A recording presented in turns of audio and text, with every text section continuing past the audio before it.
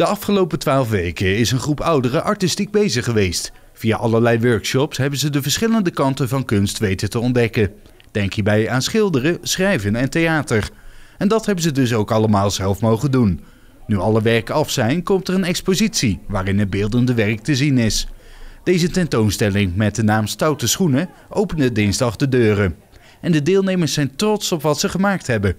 Dit uh, vind ik wel een van de beste sculptuurs die ik gemaakt heb. Het voldoet helemaal aan mijn, uh, wat ik zelf doe op dit moment. Ik ben momenteel bezig met schepen aan het bouwen, modelschepen. En die variëren van 50 tot meer dan een meter lang.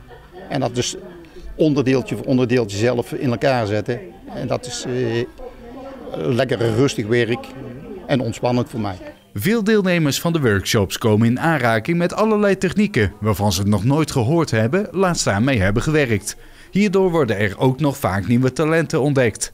Nou, ik kan nu ik kan wel een onderscheid maken. We hebben, uh, zijn ooit begonnen twee jaar geleden in een uh, serviceflat. Daar was uh, de groep ouderen, dat waren meer de senioren. Dus de oudere senioren. En hier hebben we te maken met de jongere senioren.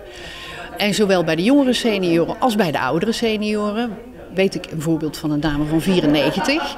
Die heeft ontdekt dat ze kon schilderen, bijvoorbeeld. Maar dat zie je ook bij de jongere senioren. Dus het is eh, heel belangrijk om gewoon eens uh, ja, eigenlijk jezelf daartoe aan te zetten. De stoutschoen aan te trekken. En vandaar ook het motto, ik heb het nog nooit gedaan, dus ik denk dat ik het wel kan. Dat geeft een extra prikkel om gewoon uh, ja, jezelf uh, een beetje in diep te gooien en uit te dagen. De deelnemers zijn blij met het bestaan van deze workshops en gaan er dan ook graag naartoe. Zeker voor oudere mensen, dus voor de groep zoals dit, boven de 60 plus. Je zit toch in een stukje eenzaamheid, eh, je sociale contacten worden minder als je niet meer werkt. De groep wordt kleiner, er vallen steeds meer mensen rondom je heen weg.